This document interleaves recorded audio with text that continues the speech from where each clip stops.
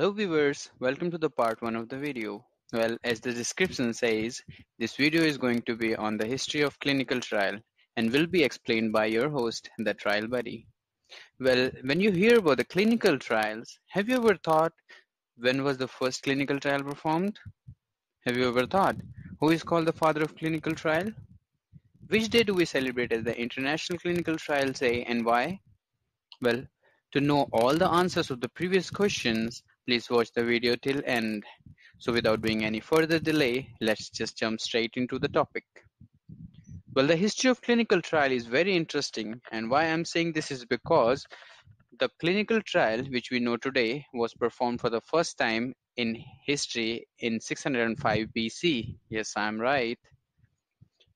We can get the reference of the trial in the book of Daniel. Though the clinical trial was not performed by any doctor or any physician that time, but was performed by a king with the name Nebuchadnezzar. He was the king of Babylon.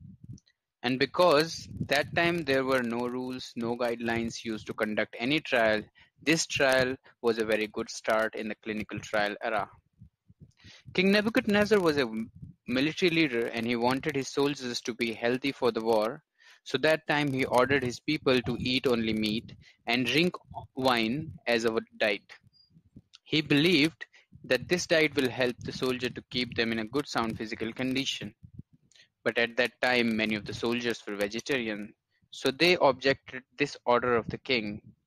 Well, Nebuchadnezzar was a very wise person, so without being harsh on his soldiers, he gave order to the soldiers that the vegetarian soldiers can take legumes and water for ten days.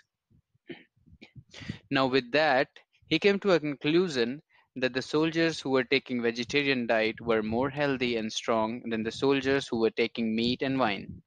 So he ordered his soldiers to take legumes and water as a diet. So this was the information about the very first clinical trial in the history. Now let us know who is called the father of clinical trial.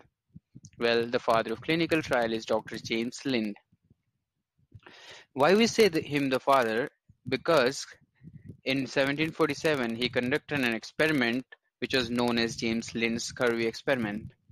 Well, this experiment was very first controlled experiment of the modern era, wherein he took 12 sailors and divided them into six groups. Each group contained two sailors with the same problem in them. With their normal food, he gave some extra food for a day or for twice a day or for thrice a day to eat to the groups. To the first group, he gave apple cider vinegar once a day.